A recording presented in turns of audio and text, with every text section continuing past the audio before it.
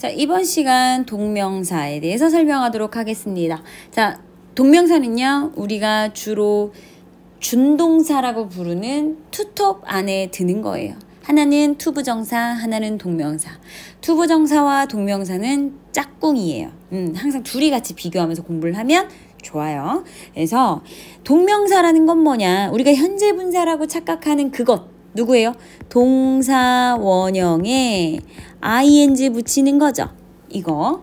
그래서 명사 역할을 하는 거예요. 명사. 어, 근데 선생님 아까 준동사 투톱에 to부정사 말씀하셨잖아요. 자, 투부정사는 자, 투부정사는요. 투부정사란 투부정사란 투 플러스 동사 원형의 형태가 와야지만 얘는 to부정사라고 해요. 그런데 얘가 하는 역할은 첫 번째 명사 역할을 하고요. 두 번째 형용사 역할을 합니다. 세 번째 부사 역할을 하죠. 부사 역할. 자, 그럼 to부정사가 명사 역할을 할 때 얘가 하는 일은 뭔데요? 명사적인 용법, 형용사적인 용법, 부사적인 용법 이거 많이 들어보셨을 거예요. 투부정사가 명사적인 용법으로 쓰일 때는요. 주어 역할, 보어 역할, 목적어 역할을 합니다. 선생님 그럼 형용사는요? 형용사는요. 부사 보어 역할, 명사 수식, 명사 수식을 해요. 그럼 to부정사가 to부정사를 꾸며주면 그 to부정사는 형용사인가요? 아니요. 명사요. 그냥 명사. 그 다음에 부사가 하는 역할은요. 여러분들 형, 부, 동, 문.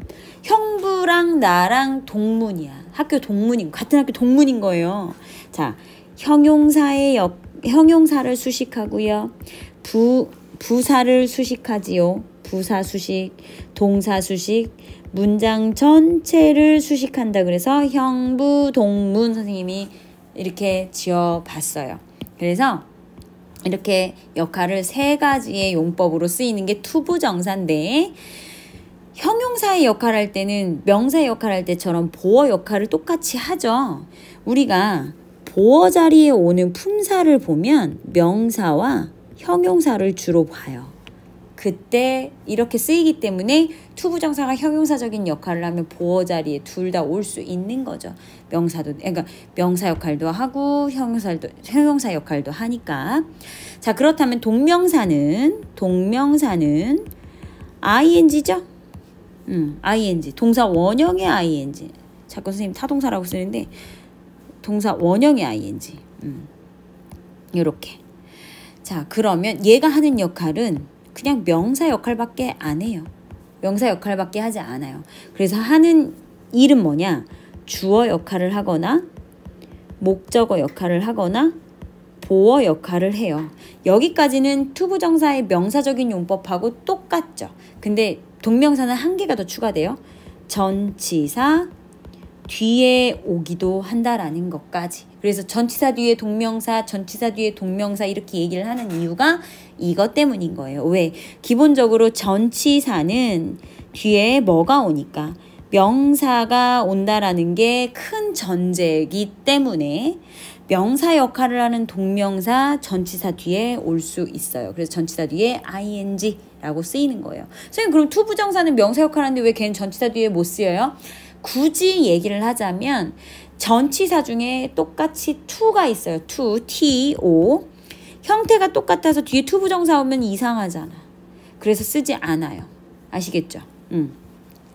여기까지 하고 본문으로 넘어가도록 하겠습니다. 자, 동사 원형의 ing 하면 뭐뭐 하기, 뭐뭐 하는 것이 명사적인 의미로 쓰인대요. 동사 플러스 동사 원형, 뭐뭐 하기, 뭐뭐 하는 것, 명사적인 의미를 갖는다. 지금 계속 똑같은 말 하고 있죠? 자, 얘는요, 그래서 주어 역할하고 목적어 역할하고 보어 역할을 하는데, 동명사가 주어 역할을 하는 경우에는 단수 취급을 한다라고 했어요.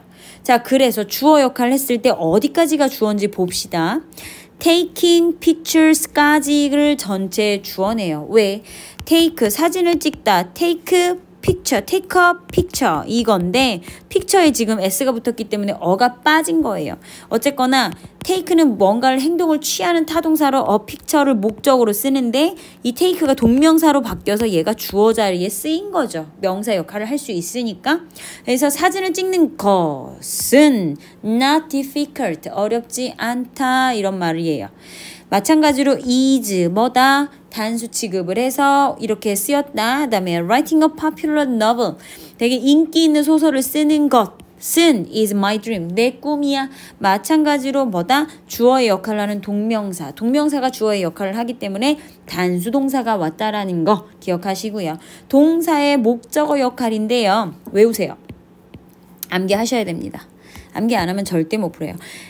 Enjoy ing, stop ing, mind ing, finish ing, suggest ing 좀 추가해 볼까요? 추가해 보면 delay ing 그 다음에 아 delay 다시 쓸게요. delay 그 다음에 postpone 정도는 좀 어려운가? 자, delay, 거절하다, deny 정도. 얘네들은 뒤에 동사 원형을 써요. 동사 원형이 ing 동명사만을 목적어로 써요. 그래서 선생님이 어떻게 외우라 그랬어? enjoy ing, stop ing, mind ing, finish ing, suggest ing, delay ing, deny ing 이런 식으로 외워놓으면 훨씬 더 외우기가 쉽죠. 자, 우리가 확인 사살 들어가야 되겠죠. 보겠습니다. She enjoy swim이 아니라 swimming. 스위은 수영인데 수영을 좋아하는 게 아니라 내가 직접 몸소 겪는 걸 말하고 싶어서 동작을 집어넣어야 하니까 동명사를 쓴 거예요. 음, 동명사 투부정사는 동작이 기본이니까 기준이니까. 그래서 그녀는 즐겼죠. 수영하는 것을 즐겼어요. 어디에서? In the lake. 호수에서. I don't mind. 꺼려하지 않아요. Getting up early. 일찍 일어나는 거 나 어렵지 않아. 꺼려하지 않아. 이런 말이죠. mind ing.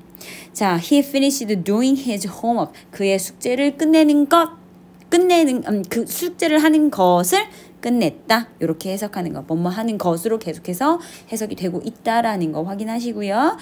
지금 동명사가 목적으로 이렇게 쓰인 거 여러분들 확인하고 계십니다. 자, 전치사 뒤에 올 수 있다고 그랬어요. 전치사의 목적어 역할 at drawing. 자, 드로우라는 동사를 전치사 뒤에 쓸 수 없으니 얘를 명사화 시키자. 누구를? 동사를. 동사를 명사화 시킨 거, 그거를 우리는 동명사다라고 하는 거예요. 아시겠죠? 그래서 I am, I am good at 나는 능숙해 뭐 하는데? drawing curtain 만화를 그리는 것에 능숙해. 이렇게. 똑같이 뭐뭐 하는 것 뭐뭐 하기로 해석하고 있다라는 거 캐치하셔야 하고요. 보어 역할 갑니다. her job 그녀의 직업은요?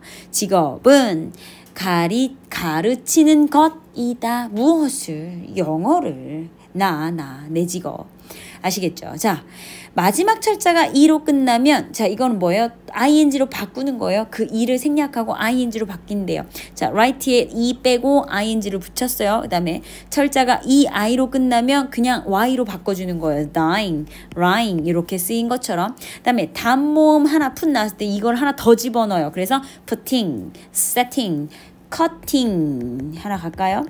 이 정도. 자, 동명사를 목적으로 취하는 동사. 지금 굉장히 아까 생각나는 게 많았는데, 어쨌거나 이거 외우셔야 돼요. 외워야 돼. admit ing, deny ing, discuss ing, mention ing, give up ing, consider ing, imagine ing, keep ing, recommend ing, finish ing, practice, practice, practice. 철자가 틀렸는데 practice ing, 그다음에 quit ing, complete ing, miss ing, appreciate ing, avoid ing, enjoy ing, advise ing, suggest ing, dislike ing, mind ing 해서 뒤에 선생님이 지금 admit ing, consider ing, finish ing라고 했는데 지금 얘네들은 전부 다 동사예요. 그 뒤에 뭘 취하는 거? Ing를 취하는 그런 타동사. 그럼 얘가 무슨 역할? 목적어 역할을 한다라는 거. 그거 말고는 더 이상 설명할 게 없어요. 아시겠죠? 이거 외우셔야 돼요. 몇 개예요? 하나, 둘, 셋, 넷, 다섯 개, 4, 5, 20, 21개. 그쵸? 여러분들 딱 개수 정해놓고 내가 21개가 머릿속에 들어갔는지 확인하면서 꼭 암기하세요.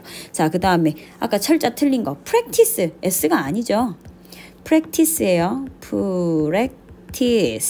아시겠죠? practice ing. 오케이. ing 하는 것을 실행하다, 연습하다. 자, 여기까지 하겠습니다.